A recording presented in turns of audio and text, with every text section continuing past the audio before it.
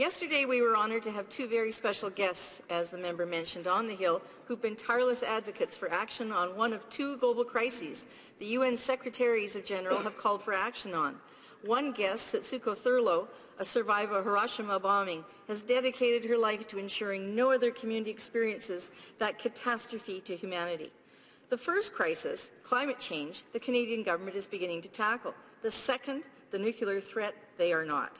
Yet both crises pose equally significant threats to humanity, both to our environment and to life. Nations are deeply concerned about the catastrophic humanitarian consequences posed by nuclear weapons, that the threat, like climate change, transcends national borders, has grave implications for human survival, the environment, the global economy, food security, and the health of future generations. Since my election in 2008, I've become engaged through the Parliamentarians for Nuclear Non-Proliferation and Disarmament, a global association of elected officials and civil leaders advocating for nuclear disarmament. A few months back, I attended the UN negotiations for a convention on nuclear disarmament. This convention is being premised on the principles and rules of humanitarian law and is considered directly consistent with the binding terms of the Non-Proliferation Treaty. Despite voting for the motion calling for Canadian engagement in these negotiations, Canada not only continues to boycott this global initiative, they are counted among the few nations who last year voted against even commencing the negotiations. Why is this troubling? Canada is a party to the Nuclear Non-Proliferation Treaty. That multilateral treaty compels our country, along with the other signatories, to negotiate and complete a convention on a nuclear ban. Nuclear weapons are the only weapons of mass destruction, as my, my colleague mentioned, not yet prohibited. Canada played a key role in global actions to ban chemical and biological weapons and landmines. Yet our government is boycotting actions to ban nuclear weapons. Do they not share the global concern that nine states possessing 15 to 17,000 nuclear weapons are determined to modernize or make easier to deploy these weapons, not dismantle them? What is puzzling if we have a prime minister and a government who claims to the world they're back at the UN, that they are back at the UN, that they are committed or not, whether they've signed on to the convention or not. It's another tool. It's another yardstick. A convention like that has an influence even on countries that are non-signatories. We've seen it with the landmines treaty there are countries that, uh, like our neighbors to the south, who hadn't signed on, but the convention, the treaty definitely influenced them. It had a huge effect on their use of landmines and elsewhere in the world too. So it's so disappointing that Canada is not at least at the table. Thank you very much, Madam Speaker. Please the debate. The honourable member for Edmonton Strathcona. Thank you, Madam Speaker, and it's my honour to share this time with former diplomat and my dear colleague, the member for Laurier Sainte Marie. Yesterday, we were honoured to have two very special guests, as the member mentioned, on the Hill, who've been tireless advocates for action on one of two global crises the UN Secretaries of General have called for action on. One guest, Setsuko Thurlow, a survivor of Hiroshima bombing, has dedicated her life to ensuring no other community experiences that catastrophe to humanity. The first crisis, climate change, the Canadian government is beginning to tackle. The second, the nuclear threat, they are not.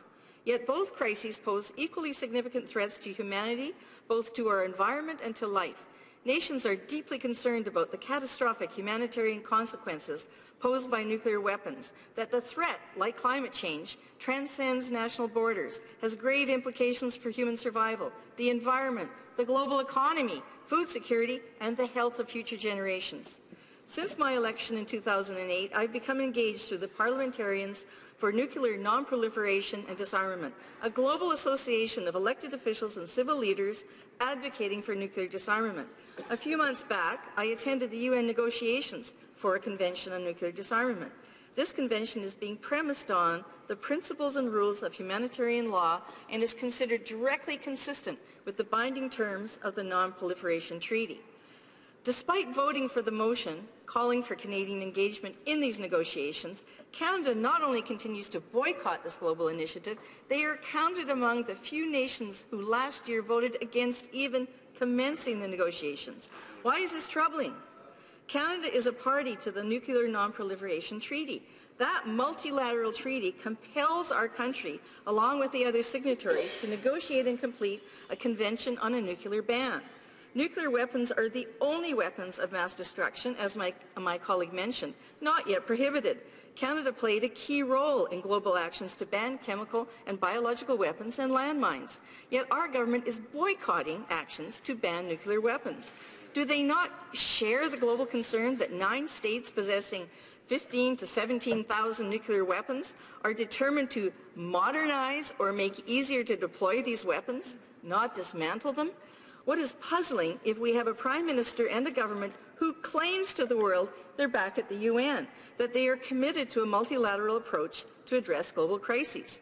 They seem to find that of value on climate change. Why not on the threat of nuclear war? Last March, a majority of nations gathered in New York at the UN to draft a convention on the prohibition of nuclear weapons. I went to New York to observe firsthand these negotiations. What I heard in the speeches by state delegates, including, for example, the Netherlands and Ireland, was a profound concern with the threat posed by nuclear weapons and a determination to stand together to call for their prohibition. It's anticipated that a final version of this convention will be completed this July. In the wake of this government's decision to boycott, I traveled to hear firsthand and was inspired by the strength of commitment to these nations to pursue a common end to the nuclear weapons. The very purpose of the UN, as pointed out by UN Secretary General Guterres, is to prevent war and human suffering. We are reminded in a book by former Ambassador for Disarmament, Douglas Roche, that the UN Charter begins by saying that the purpose of the organization is to, in quotes, take effective measures for the prevention and removal of threats to peace, end of quotes. Former UN Secretary Ban Ki-moon issued a five-point proposal for nuclear disarmament, including a call to ratify and enter into force a comprehensive nuclear test ban treaty. In 2010, this call, as my colleague mentioned, was unanimously endorsed by this place on a motion by the NDP, calling for Canadian engagement in these negotiations for a global convention and to kickstart a Canadian diplomatic initiative to prevent nuclear proliferation. As my colleague also has pointed out, many have expressed support for this convention, including the Interparliamentary Union, hundreds of Orders of Canada, and many former Canadian diplomats. It's noteworthy that the Liberal Party at the recent convention adopted a resolution calling on this government to convene a conference to commence negotiations. Well, that action is already happening absent this government. What excuse has this government given for refusing to participate in the negotiations? They argue that they are engaged in discussions for a fissile ban, to, that is, to put a stop to the production of new fissile materials that could be used to make nuclear weapons. However, unlike the open and transparent process at the General Assembly to negotiate a convention, that process is behind closed doors and requires consensus. And there is little likelihood that those opposed for example, Pakistan, China, Russia, Iran, Israel, Egypt will agree, and to date have not. These nations, I am advised, have huge supplies of fissile material, regardless of any ban eventually negotiated for no new production.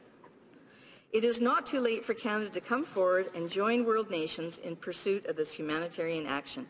Negotiations recommence this month in New York for the sake of our children, for the sake of the planet, we implore this government to step forward, to join the efforts of nations threatened by nuclear weapons, not those determined to retain and potentially deploy them.